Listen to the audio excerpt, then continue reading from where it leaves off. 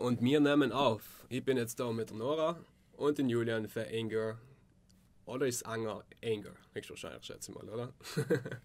Eine Band aus Wien und sie sind beide in Wien, sind Südtiroler. Was drei Bank nach Wien? Ja, eigentlich das Studium, weil ähm, also ich habe äh, Kunst studiert, zeitgenössischen Tanz und das hat sonst nirgends gegeben oder halt in Wien, Berlin oder in irgendeiner anderen großen Stadt und zu Wien habe ich halt am meisten Bezug gehabt und dann habe ich dort die Aufnahmeprüfung gemacht und bin reingekommen und das Studium ist schon längst fertig, aber ich bin halt nur da. Aber ist doch großartig. Ich meine, wenn's doch, wie, wie gefällt dir die Stadt? Ja, super. Also, ja. nein, ich muss sagen, ich bin jetzt schon eine Weile in Wien, also schon einige Jahre. Und man, man braucht, oder ich Zeit gebraucht, bis ich sagen kann, jetzt fühle ich mich richtig wohl da. Also mir jetzt früher ähm, sehr heim gelustet. Also ich bin allem in die Sommerheim gefahren, weil ich einfach Heimweg habe. Und jetzt mittlerweile ist das ein bisschen anders, weil ich mich da einfach schon viel heimischer fühle. Ja. Und warum, warum hast du, hast du bestimmte, also einen bestimmten Moment gegeben, wo du gemerkt hast, jetzt bist du umgekommen? Ja, ich glaube, das hat voll viel mit den Strukturen zu tun und auch wenn man anfängt zu arbeiten. Also solange man in dem universitären Kontext ist, wo du dann im Sommer frei hast oder halt irgendwas anderes machst, dann ähm, ist es mehr eben noch so ein bisschen schulisch, wo du dann die Ferien zelebrierst und äh, sobald, also, sobald ich, also seit ich eigentlich Arbeit und für mich Jahreszeiten nicht mehr so viel Unterschied machen, ja, fühle ich mich ähm, da einfach äh, heimischer. Mhm. Du bist hauptberuflich Schauspielerin? Genau, ich bin Schauspielerin und Performerin und Musikerin Okay. Und ich, mittlerweile mache ich auch noch einen Master in Gender Studies. Mhm. Ähm, ja. Was war dein Bachelor? Ähm, zeitgenössische Tanzpädagogik auf, wie, am wie, Konservatorium. Wie, wie kannst du dann in Spin auf äh, Gender Studies machen? Wie geht's ja? Ähm, weil ich äh, ähm, künstlerisch äh, oft zu Gender-Themen arbeite und zu feministischen Themen und ich einfach das vertiefen wollte, theoretisch. Und der Gender Studies Master ist da in Wien ein interdisziplinärer Master, mhm. was ziemlich cool ist. Dann kann man Leute aus allen Fachbereichen zusammen. Und deswegen war es für mich auch möglich, dort den Master zu machen, weil sonst hätte ich wahrscheinlich das leider am Konservatorium machen können oder so. Mhm. Ich meine, das ist eigentlich ein ganz guter Punkt, was ich dann auch ansprechen Ihr seid ja beide sehr auf Instagram und sehr auf Social Media unterwegs, nicht? Und du vor allem, Nora, Du bist, äh, du zeigst deine Weiblichkeit sehr offen. Du hast ja ein Foto drinnen, wo du nicht direkt über deine Regel sagst. Und also. selbst, selbst bist du kritisiert worden. Oder du, ja, hast, äh, du hast ein Foto, wo du. Ich kann mich an ein Eis erinnern, das ausschaut wie Vagina. Ah, ja, das, es war ein Lolli, ein Lolli, genau. genau. Ja, also, ähm, ich, wie gesagt, ich greife weibliche Themen auf und versuche einfach. Ähm, die, die Binarität äh, ins Lächerliche zu ziehen, die was, was ist, und versuche halt äh, äh, Tabuthemen umzusprechen, also die halt momentan noch tabu sein und ein bisschen zu provozieren und und da mich interessiert auch voll, wie die Leute darauf reagieren, weil zum Beispiel das Bild, wo man das Blut sieht, das ist gar nicht mein eigenes Blut, sondern das ist einfach eine Filmschminke. Okay weil ich bei einem, bei einem Film mitgemacht habe, ähm, eh bei ähm, Iceman, also der Mann aus dem Eis. Also die Geschichte von Ötzi, der ist vor eineinhalb Jahren getrennt worden. Und ich habe eine schwangere, jungsteinzeitliche Frau gespielt, die bei der Geburt... Entschuldigung, aber war das die Produktion mit dem... Ähm mit Jürgen Vogel, ja. genau. Okay. Der, was bei der Geburt gestorben ist. Und natürlich haben, haben sie mich dann überall mit künstlichem Blut beschmiert und die haben das dann halt aus einem Winkel fotografiert, weil das, das, das hat da angefangen, also okay. in der Mitte von meinen Oberschenkel, die Schminke, und die haben das halt aus einem Winkel fotografiert, dass das halt so ausgeschaut hat. Okay, okay. Und das war eben extrem und haben einfach in Hashtag Free Bleeding Aha. hingeschrieben und mir, das ist halt extrem lustig, weil die Leute halt, die Leute glauben einfach alle das, was sie sagen, ohne das eigentlich zu hinterfragen. Okay. Ohne die Geschichte dahinter zu hinterfragen, hätte man ein bisschen mehr recherchiert. In der Zeit hätte man sofort, ich habe ja Stories gemacht, gesehen, dass ich einfach auf einem Filmset bin und extrem geschminkt bin. Und, und äh, solche Sachen sind halt extrem, so extrem lustig. Und, und das Foto hat echt so viele Reaktionen und so viel Hate da gekriegt. Und ich mir vor allem gedacht, ja, sogar Weiß Spanien hat Ja, genau, Weiß Spanien hat mir geschrieben, ob ich mich zu dem Was? Thema äußern will und so. Und die haben ihnen dann halt geschrieben, hey, kann ich voll gern, aber es ist halt fake. Und, und dann waren sie natürlich... Ist das, ist da, oder ist das, findet man das, oder hast du die geäußert? Noch? Nein, weil ich dann gesagt, ich kann mich voll gern zu dem Thema äußern und das ist ein Themenbereich, den ich studiere und der mich sehr interessiert und wo ich halt äh, dazu auch forsche. Und, äh, aber es ist nicht mein richtiges Blut. Und dann waren sie so enttäuscht, dass, sie, dann, dass sie das dann wieder fallen gelassen haben. Aber, ja. aber das ist doch ein sehr gutes Thema, was Instagram und die ganzen Geschichten unbelangt. Die, die künstliche Hypersexualisierung sozusagen. Genau. Glaubst du mir, wie kann ich die Frage formulieren? Ähm, glaubst du mir, mittlerweile ein Peak erreicht? Dass es fast nicht mehr weitergeht? Du meinst die Sexualisierung? Ja, oder? Dass, dass, dass, dass das unrealistische Bild einfach so übertrieben ist, dass das jeder merkt. Oder glaubst du, dass es. Nein, so mir, ich weiß nicht, ich, ich verstehe das ja eigentlich nicht. Und die, ich probiere mich allem aus und ich versuche allem zu verstehen, was eigentlich Mainstream will. Weil ich glaube, ich bin eine Künstlerin und als Künstlerin versteht man Mainstream einfach nicht, weil haben, ist man halt idealistisch und, und verkopft und macht seine Sachen und. Äh, beschäftigt sich halt eben genau vielleicht nicht mit dem Mainstream und wenn du mit Mainstream beschäftigst, dann in einer kritischen Art und Weise. Und ich verstehe es einfach nicht. Ich, verstehe, ich verstehe nicht, warum zum Beispiel, wo offensichtlich Bilder, wo du offensichtlich siehst, dass die Frauen ihre Augen künstlich vergrößern oder auch die Männer, ist wurscht, wer, irgendwelche Personen ihre, ihr Gesicht verändern und du merkst das total und das schaut mangamäßig oder comichaft aus. Mhm also es ist ja ästhetisch schön, das sage ich nicht. Und das Bild finden dann alle toll und schreiben drunter, hey, wie geil, wie schön, du bist so schön. Und die denken mir like, äh, halt, sag es nicht, dass das mhm. weg ist. Aber, Aber glaubst du, ich, ich denke mal, deswegen, ich verstehe das eigentlich Du willst nicht. lieber Fake sagen, wie was nicht so ästhetisch ist, oder? Wahrscheinlich, ja. Halt, ich ja, weiß es es ist wahrscheinlich auch in der Kontext, wo das nicht presst. Ja, nein, aber im Kontext Social Media jetzt. Also auf ja, Instagram, ja. du willst, im Grunde willst du schöne Sachen sagen und schöne Menschen und schöne Aktivitäten. Und das sammelst du und sagst. Das ist, ich, ich, ich stimme, Oder? ich kann leider zustimmen, ich finde das absolut traurig irgendwo. Weil Logisch ist es traurig, aber es ist halt. Mm, äh, na, traurig. Ich weiß nicht, ob es traurig ist. Es ist, es ist einfach Normalität. Oder? Glaubst du, dass das Normalität ist? Dass, sie, dass die Menschen sich nach dem sehnen, ja. Weil es ist ja Kitsch fast schon. Ja, das so, nicht, aber es ist. Ähm, es, du, ich glaube, du willst, du willst ja in dem Moment nicht unbedingt ähm, intellektuell mit was beschäftigen, sondern du, du durchwischen und durchschauen und das ist so wie, genau. ein, wie ein netter Unterhaltungsfilm, der mhm. einfach nicht die Oberfläche verlässt. So. Oder? Stimmt, du Sich willst halt an der Oberfläche bleiben und du willst eigentlich nicht gestört werden. Eben, und du willst vor allem nicht über dich selber nachdenken. Ja. ja das ist der Punkt. Okay, noch einmal den kurzen Fix für den, wow, schau, wunderschön, like, weiter. Okay. Mhm. Und wenn das jetzt 100 Mal passiert, nochmal das 100 Mal, auch typ, oder die Typ sieht das 100 Mal, und du hast noch, äh, was, was ich damit, also durch, durch ein Rauschen, durch ein unglaubliches Rauschen ja. an oberflächlicher Schönheit, wie kannst du denn sagen, was schön ist und was nicht? Wenn du Leid das hast ständig, verstehst du? Du kannst nicht sagen, du was laut ist, wenn du keine Stille hast. Nein, nein, das stimmt. Aber es ist eben zum Beispiel dann solche Bilder, wo Regelblut gezeigt wird, die sprengen ja kurz den, das Rauschen auf. Voll, ja, aber das hat ja nicht jeder. Nein, eben. Mhm. Aber weil halt die Menschen, also ich glaube, alle wollen einfach nicht so viel nachdenken und einfach sich ja. das Rauschen an schöne Bilder.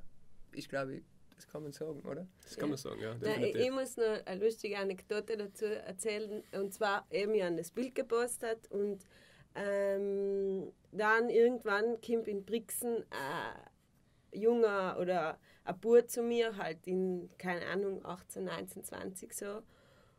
Und sagt zu mir, hey, Nora, ihren die gemäßt auf Instagram entfollowen, weil du bist mir halt viel zu brutal. Und das ist mir halt viel zu Ah. brutal. Und die haben es halt voll lustig gefunden, weil ähm, derjenige, der postet halt, keine Ahnung, sich mit einem Joint oder voll betrunken oder irgend halt, was so feiern, raven, was, was ich eigentlich voll brutal finde. Und das ist dann in Ordnung. Und wenn ein bisschen Blut siehst auf ein Bein, du siehst ja nicht einmal, du siehst keine Genitalien, du siehst ja nicht, du siehst einfach ein Stückchen Bein mit einer roten Streifen. Mhm. Halt, und wenn Seil dann, und halt jedenfalls absurd gefunden, dass Seil dann so brutal ist im Gegensatz zu allem anderen, was dem du begegnest auf Instagram. Aber was willst du mit denen erreichen? Welche, welche Grenzen willst du sprengen, wenn du das nicht tust? Nein, ich will eigentlich nichts erreichen. Es ist ja so wie ein Research. Ich schaue mal, was passiert und ich bin gespannt auf Reaktionen und ich versuche halt zu verstehen, wie das vielleicht funktioniert oder wie Leute funktionieren, was, was anstößig ist, was, oder was Menschen denken, dass anstößig ist und was nicht. Mhm. Aber es ist jetzt nicht, ich will nicht gezielt provozieren, halt ist mir eigentlich gleich, sondern ich probiere einfach so wie. Mhm.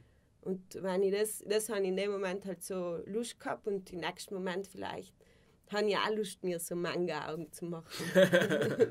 dann probiere ich halt Zell und schaue mal, was passiert. Aber die, die Provokation und ich meine, die Provokation in einer Musik, findet die Platz zusammen? AD, AD-Provokation? Also ich glaube, in, in unserer Musik, wir machen in erster Linie Popmusik. Ja.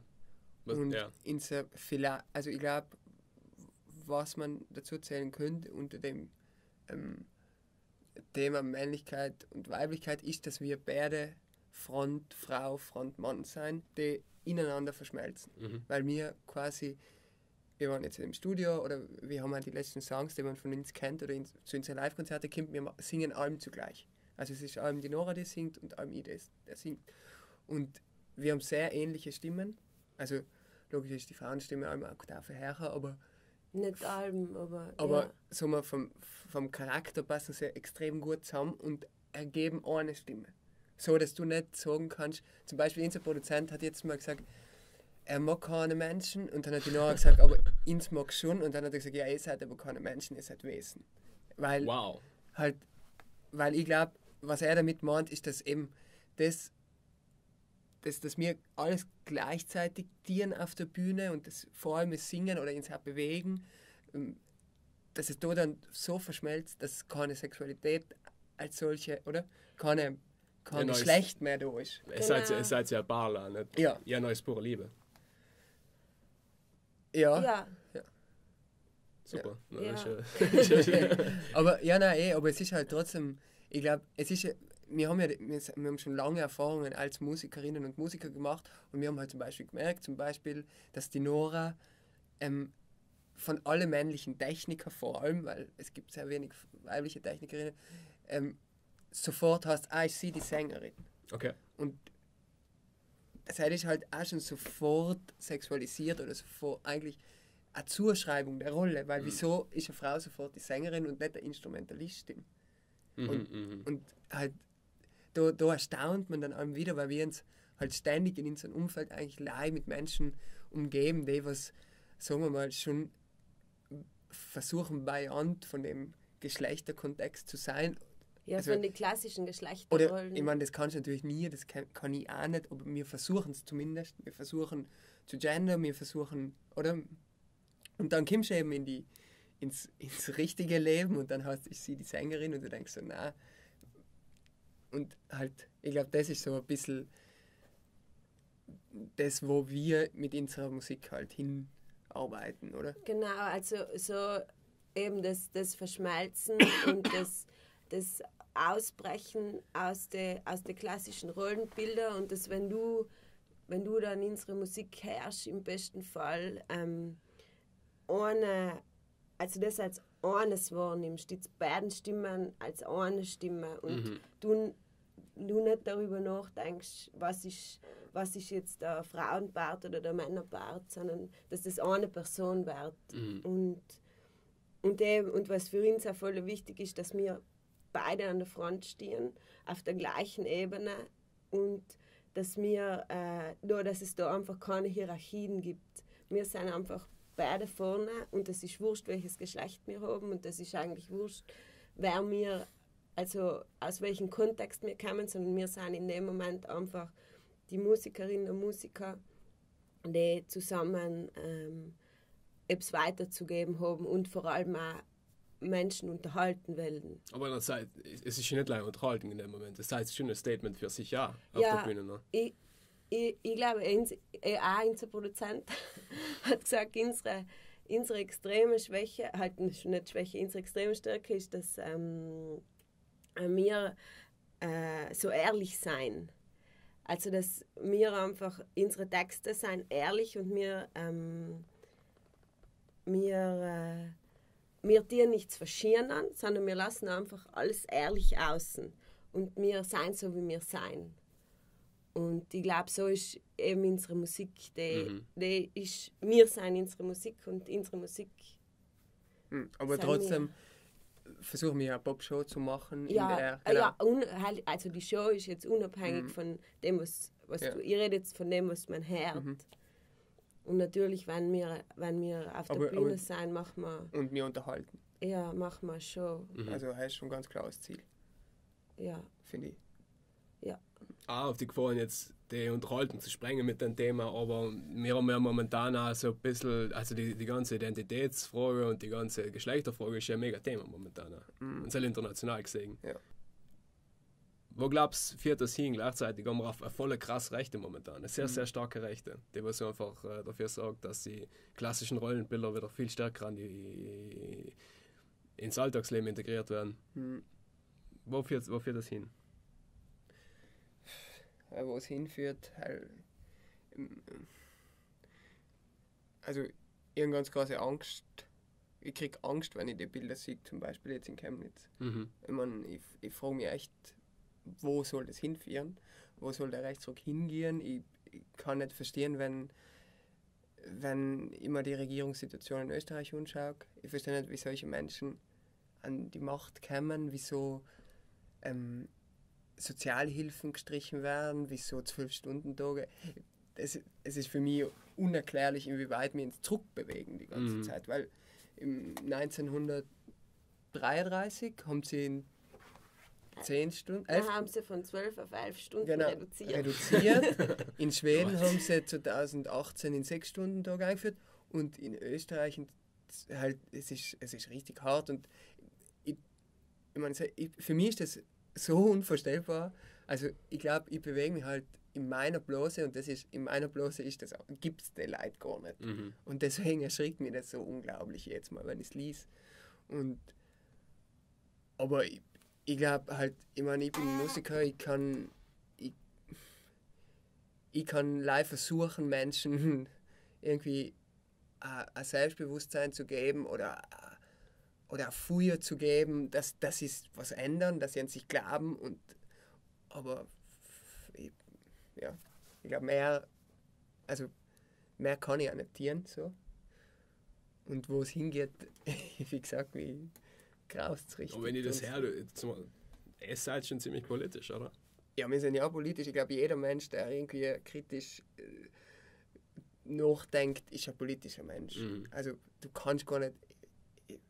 Also wenn du die, wenn du die mit Themen oder wenn du dich mit deiner Gesellschaft, die die dich umgibt, mit auseinandersetzt, dann, dann bist du von mir jetzt gesehen politisch, oder? Hundertprozentig, ja. Und wir sind vielleicht nur, oder ich weiß nicht, ich glaube nicht, dass wir, also wir sind keine politische Band als solches, wir gehen nicht auf die Bühne und sagen, hey, dir das und das, aber unser Anspruch ist eher, hey, wir sagen einen keinen Weg oder wir vermitteln kein Gefühl, aus dem es schöpfen kann. Mhm. Oder hell war halt die große, Vor halt die große Traumvorstellung, dass man in Menschen und junge Menschen sagt, hey, es ist nicht das Thema, was eigentlich die ganze Zeit alles sagen, Aber das ist ein guter Punkt. Wie vermittelt man das? Wie vermittelt man in, in junge Leute, hey, die, die klassische Rollenverteilung ist ja, indem man sie ihnen vorlebt. überholt. Ja, genau, Indem man indem sagt, man hey- es ihnen vorlebt und indem man sich ausdrückt und wir haben, haben eine Bühne und Ja.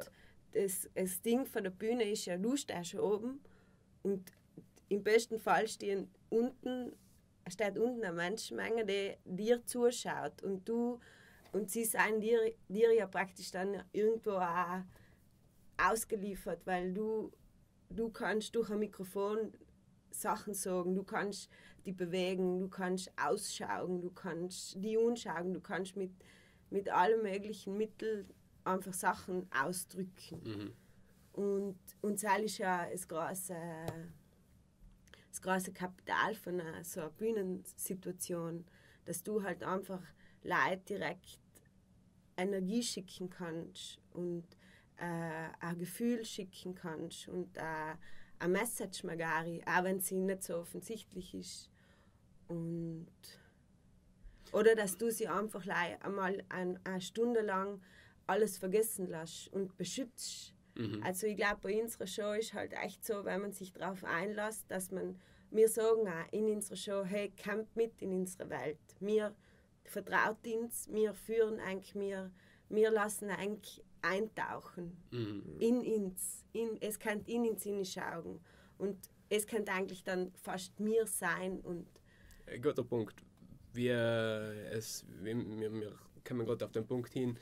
Ähm, wie privat seid ihr auf der Bühne? Also wie viel ist äh, privat Nora und äh, Julian und wie viel ist Inga? ich, Ja, ich glaube, ich, wie gesagt, es, es ist natürlich bis zu einer. Es gibt Inszenierung innerhalb von dem, aber die Grundbasis ist, ist eine authentische. Und es ist nicht, für mich ist nicht anders möglich, wie aus dem zu schöpfen, was wir sein. Mhm. Und weil alles andere fühlt sich halt komplett falsch an. Und deswegen glaube ich, kriegt man, also man kriegt 100% von dem, was wir sein. genau, ja, eigentlich kriegt man 200% Genau, vielleicht kriegt man 200%. Ja, Okay. Weil, aber eben, wir bieten was an, kommt mit in die Welt und in der Welt gibt es eben nicht das, was in der Welt gerade passiert. Weißt? In Mhm. unserer Welt gibt es keinen Unterschied zwischen das und dem. Nein, in unserer Welt regiert halt die Liebe und, äh, ja, und die Unterhaltung. ja. Und was, was ist Liebe, Frank? Das ist eine schwierige Frage. Ja, ich, kann äh, wieder... Lass mich eine andere Frage stellen. Ja. Bei welchem Track, Frank, kriegt man das Gefühl, was Liebe für ein ist am ehesten? Ja, ich, ich wollte jetzt gerade eben eine Geschichte dazu erzählen, nämlich eben waren wir im Studio vor ein paar Tagen und ähm, es war, wir haben voll, also wir sind schon länger zusammen und wir haben voll lang eigentlich nicht gewusst, wie lange wir zusammen sind, weil wir auf das halt nicht so viel Wert legen und, und jetzt einmal haben wir es halt ausgerechnet und dann sind wir halt draufgekommen, hey, da war es jetzt nicht mehr, 22. 22. August ist unser ja, Tag, an dem wir zusammengekommen sind. Und haben wir genau ins Studio und haben einen unserer neuen Songs eingespielt mit dem Titel First Time. Und halt sage ich schon alles praktisch, es geht um die erste Liebe und ums erste Mal große Gefühle und um das erste Mal ja, zu lieben. Und wir sind halt im Raum gestanden und wir, wenn wir einsingen, dann stehen wir ins Gegenüber und schauen ins Un.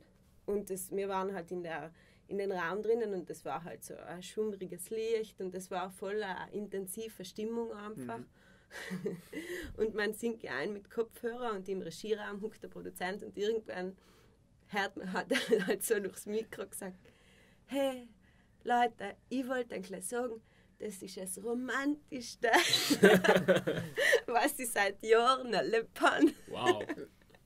Ja, das Romantischste, wie man eigentlich so einen Tag feiern Genau, kann. genau. Okay. Also Weil- wie man das, die Liebe zelebrieren kann. Weil es ist natürlich halt, ich meine, das klassische Paar geht wahrscheinlich an dem Tag zusammen was essen oder schaut sich einen Kinofilm an.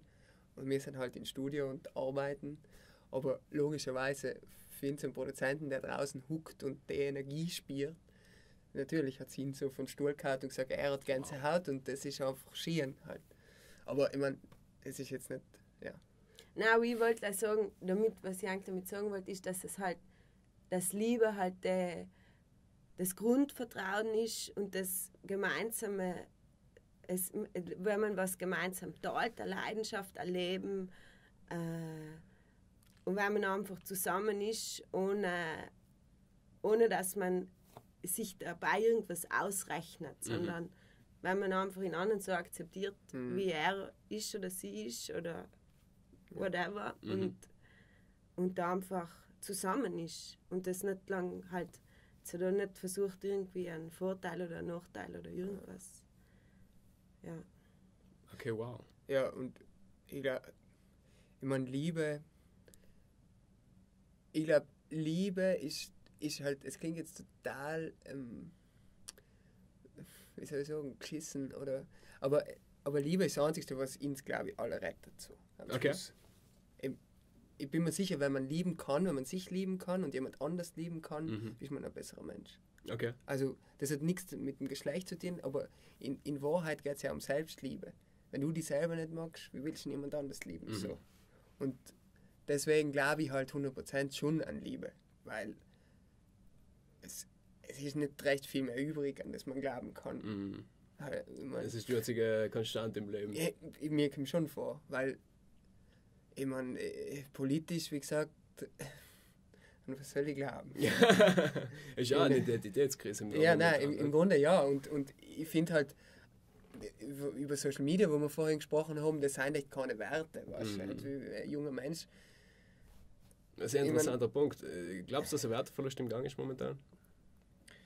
Ich glaube schon. Ich glaube, es ist einfach ein Verlust von allem im Gang. Ja, also Aber, der Diskurs verschiebt sich halt ja. in eine alleweil weiter nach rechts. Und mhm. äh, ja, die, die merken für die, die jungen Leute sein, sein halt, also das System hat sich so krass verändert und die jungen Leute sind viel ähm, neoliberaler und kapitalistischer und in dem Denken drinnen, okay, wir müssen so schnell wie möglich Geld machen und so schnell wie möglich in das System einsteigen, wie ich vor fünf Jahren oder sechs, also ich habe mir allem gedacht, easy, weißt du, so halt ich, ich weiß auch nicht.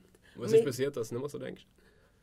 Nein, ich denke halt nur so, ah, so ich okay, sehe gleich okay. die, die, jetzt die 20-Jährigen, yeah. also unsere Freunde und Freundinnen, die so jung sind, ähm, oder halt jünger sein als mir, haben merke ich das halt voll, wenn die 20 sind, haben sie teilweise schon einen Stress und, mm. und ich denke mir halt, hey, du kannst nicht einmal allein sitzen, weil ja. chillen wir. Ja, ja, ja, aber, aber ich glaube, es ist nicht einmal ein Werteverlust, sondern es ist so eine Verschleierung. Es ist halt durch den ganzen Konsum, was schon seit Jahrhunderten wahrscheinlich passiert, aber durch das eben durch die ganzen Social Medias und so weiter, durch die Selbstdarstellung verschwinden die Werte. Mhm. Weißt, es, es ist gar nicht Platz dafür, weil es ist ja und ich tue ja auch mit, es ist ja cool, sich zu präsentieren im Voll. Internet und ich nutze das auch, weil, weil ich glaube, ich habe etwas zu sagen und es haben viele vielleicht nicht oder, oder haben nicht einmal die Lust, was zu sagen. Mhm. Sondern, und hinter der ganzen Selbstdarstellung verschwind, verschwindet das. Mhm. Hell habe ich das Gefühl. Also, dass es gar nicht verschiebt, sondern es ist so verschleiert. Mhm. Und wie hörst du das wieder aus? Wie, wie kriegst du das wieder zurück? Wie kannst, wie kannst du deiner Botschaft wieder Gewicht geben? In der Nein, ich, ich glaube, man muss halt eine gewisse Kompromisslosigkeit vorleben, finde ich. Dass man den Menschen sagt, hey, ich meine, ich komme aus Brixen, wir haben alle gesagt, von Musik wirst du nie le leben können. Die haben einem gedacht, fick dich. Ich ja, kann sicher ja, von Musik leben, du kannst vielleicht nicht von Musik leben, weil du zu wenig arbeitest. Aber wir sind seit Jahren im Proberaum, wir seit Jahren im Studium, ich, ich weiß, was ich kann und ich weiß, wo ich hinkommen kann. Und ähm, ich möchte gleich das möchte ich gerne vorleben. Ja, aber, weißt du, die Leute aber sagen, es geht ja gar nicht so sehr darum, äh, jetzt davon zu leben im Sinne von davon zu leben. Natürlich geht es auch um Seil, weil du musst von irgendwas leben, aber mir geht es halt auch darum, das zu leben und das Leben zu leben und, und ein Lebenswerk zu kreieren. Ich will, ich will nicht, keine Ahnung, 30 Jahre lang oder 40 in einem Büro sitzen, sondern ich, ich möchte meinen eigenen Weg gehen, ich möchte etwas kreieren, ich möchte aber am Ende meines Lebens einfach zurückschauen und mir denken, es war jeder Tag geil. Mhm. Und es war vielleicht schwierig, weil ich oft einmal weniger Geld gehabt habe. Aber ist nicht genau das Problem mit der Instagram-Generation? Dass die Leute meinen, sie müssen jeden Tag wie ein Bilderbuch haben. Also, aber jetzt rede ich nicht davon wie ein Bilderbuch, sondern. Halt, dass er geil ist. Ja, ich meine, für, dass ich dass ich, ich meine, natürlich ist nicht jeder Tag geil, aber für, ich mein, für mich ist ein, Tag, ein schwieriger Tag ein guter Tag, weil ich dann am Ende denke, okay, das hat mir jetzt, hat, was hat mir das gezeigt, hat mir, hat, bin ich weitergekommen, habe ich mich entwickeln gekannt, ähm, was ist mit mir passiert, komme ich auf, auf neue Gedanken, auf neue Sachen und Ja. so. Also es, ich rede jetzt nicht davon, dass die Tage gut sein müssen, aber gehaltvoll, hell ist mir so wichtig. Das ist, ein gutes Stichwort. Ja. Und äh, Du machst, also äh, die, die Liebe ist eigentlich eine Triebfeder sozusagen im, im musikalischen Schaffen. Und das seid ihr auch gerade im Studio. Also Genau, hab's, genau. äh, seit einem Monat seid ihr im Studio, um ein, äh, nicht Wir ein waren- Album, sondern vier Lieder aufzunehmen. Genau. ja, wir genau. Waren, also wir waren am Monat im Studio, wir sind genau gestern Ja. fertig geworden. Und wir, wir haben jetzt mal derweil vier Songs aufgenommen, die, also die dann released werden im Laufe des Jahres noch. Und Wo die, findet man die? ähm, die kommen dann auf alle Plattformen, also Okay. Spotify, ja, ähm, kann man überall kaufen. Und, ähm, und äh, es, also es wird sich dann hinentwickeln zu einem Album, aber momentan sind es die vier Songs und die kreisen sich halt alle um, um die Liebe. Und wenn das eben unteasern darf, ähm, haben wir die in einen längeren Satz zusammengefasst, die Titel von den Songs. Und zwar Love Someone This Year the First Time. Ah, super. Es ist echt super. Also es Und sind vier also Songs, vier Titel. genau, vier- Das ergeben ergeben noch einen so Satz. als Ja, genau. Ansatz. Und der geben Das einen Satz und der. Satz steht eigentlich genau für das, was wir sein und was wir sagen wollen und Mhm. was wir in dem Moment mit unserer Musik ähm, weitergeben Ja. möchten. Ja. Und ich, ich finde das halt ziemlich genial, weil, weil sich das halt nicht so, also das war nicht so überlegt, haha, wie nennen wir die Lieder Nein, jetzt, nein, sondern, nein, sondern die- die, Lieder haben Titel gehabt und wir haben sie einfach so zusammengeschoben und haben uns gedacht, hey, krass. Ja, oder noch, noch dazu für noch größer. Wir haben wirklich 20 Songs geschrieben. Davon haben wir sieben dem Produzenten geschickt. Er hat vier davon ausgesucht und die Titel sind dann einfach zusammengegangen. Ja, genau. Also es, Wenn wir mal kurz über einen Manager reden, ich habe ja ziemlich prominenten Manager. Mhm. ja, wir arbeiten seit äh, Juli 2017 mit dem Hannes Eder und mit Benjamin Brüst. Die haben ein neues Label gegründet, eine Managementagentur, die nennen sich Fat Penguin. Und in Hannes Eder kennt man, weil er früher der Chef von der Universal Österreich war. Und ähm, ja, mit denen und arbeiten Europe ist Armenier. Genau. Das, deshalb kennt man ihn eigentlich, Ja, also sein Gesicht zumindest. Also hier an den Fall Armenien Ja. Meine Mama hat er sich total das, der, der gefreut. die Christina Sturm entdeckt hat. Ne? Genau. Gewaltig. Ja, Glückwunsch, ist, ja, ist ja super. Ja, voll. Also wir haben ein super Team äh, um, um die Band eigentlich sonst kann wir ja nicht so große Schritte machen, was wir gemacht haben. Wir haben das letzte Jahr 30, 40, ich weiß nicht wie viel, und wir haben richtig viele Konzerte gegeben, aber nicht Konzerte, ähm, die man spielt, um zu spielen, sondern wirklich Konzerte, die was, die was uns weitergebracht haben. Wir haben ein Popfest gespielt am Karlsplatz und danach hat die Presse über uns geschrieben, ORF hat einen Beitrag gemacht, FM4 hat jetzt als Highlight also von dem Wow. Wochenende, ähm, also wie sagt man, als Highlight betitelt. Wir haben am Hip-Hop Festival gespielt nach der National auf der Indoor-Bühne im Brucknerhaus in Linz. Wow. Es sind wirklich äh, Ja. krass gut, also coole Sachen passiert und, und die passieren halt, weil wir extrem viel arbeiten, aber weil wir auch eben so Leute haben, die uns auf dem Weg unterstützen, Ja. wie Und, in Hannes und in genau. Benny. Okay. und weil es halt da Menschen gibt, die einfach uns und unsere Musik gut finden. Ja. Heil, ich mein, Heil ist das Wichtigste eigentlich. Ja, nein, logisch. Ich meine, es ist halt eben, du, aber als, als kleine Band kennt dir noch niemand wirklich, sondern du arbeitest Schritt für Schritt, dass die, die Leute kennenlernen. Und eben, wir haben das Glück, dass das auch umkimmt, Mhm. dass das auch umgenommen wird. Dass, also, es ist. Es Wo ist habt ihr eigentlich am meisten Fans? Oder wo ist die meiste, was ist die meiste Rückmeldung? In Wien. ja, in Wien. Ja? Ja, wir haben eine Release-Show gehabt im Volkstheater in der Roten Bar. Ähm, haben wir gerade, also ich glaube, es war das dritte Konzert in Wien. Und das und war es ausverkauft. Wirklich? Hm. Wow, ist ja super. Also in Wien haben wir echt die Shows, die wir gespielt haben, also als Hauptband, haben wir eigentlich bis jetzt alle ausverkauft. was halt sagt, okay, da ist schon mal unsere Basis an Leid und Ja. Das freut mich wirklich, dass es so gut. Das ist und ja super. jetzt, jetzt eben, jetzt tastet man ins aus aus Wien. So. Und, und wir haben auch, aber man muss ja sagen, wir haben auch in Brixen gespielt, Dekadenz, war ausverkauft. Stimmt. Es ist natürlich nicht so groß, weil. Spielt es am Kalten Pop? Nein. Nein. Okay. Und wir haben vor letztes Wochenende mal schon fest gespielt und du hast halt auch die Reaktionen gemerkt. Die Leute, also das funktioniert, es ist wurscht, ob es Wien ist oder ob es irgendwo anders ist. Mhm. Ich glaube, wenn man ins Live sieht, dann funktioniert das. Mhm. Äh. Ja, danke fürs Interview. Es hat mich voll gefreut, es war ein voll gutes Gespräch. Ähm, im, in der Beschreibung auf YouTube, wo wir jetzt sein, ähm, wir finden jetzt einen Download-Link zu den Lieder zu den einzelnen und die restlichen kommen jetzt noch logischerweise. 11.10. hast du gesagt, ist ein fettes Konzert mit den Churchills. Oder Nein, den Churches. 10.11. 10. Mit Ah, als, 10.11. als Vorband für Churches im Gasometer in Wien. Ganz rat und streichen, gell? Ähm, und ja, danke. War Danke cool. dir. Danke, ja. Passt. Thank you.